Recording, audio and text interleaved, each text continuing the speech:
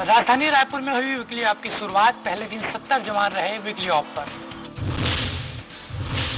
सरकार द्वारा घोषणा करने के बाद राजधानी रायपुर में भी वीकली ऑफ़ की शुरुआत हो गई है। पहले दिन करीब 60 से 70 जवान वीकली ऑफ़ पर रहे। वीकली ऑफ़ मिलने से जवानों में खुशी की लहर देखी गई। सिविल लाइन थाने के भी दो जवान वीकली ऑफ़ पर रहे। वीकली ऑफ़ पर रहे जवानों ने पूरा दिन परिवार के साथ बिताया। जवानों ने वीकली ऑफ़ मिलने पर एसएसपी और सरकार का आभार जताया है। पहले दिन विकलिया पर रहे सिविल लाइन थाने में पदस्थ मुंशी अच्छे राम खुटे ने बताया कि विकलिया मिलने मिलने से पूरे परिवार में खुशी का माहौल है और दिन भर उन्होंने परिवार के साथ एंजॉय किया और इसके लिए उन्होंने एसएसपी और सरकार का आभार भी जताया। रायपुर से एक्सप्रेस रिपोर्टर हेमंत शर्मा।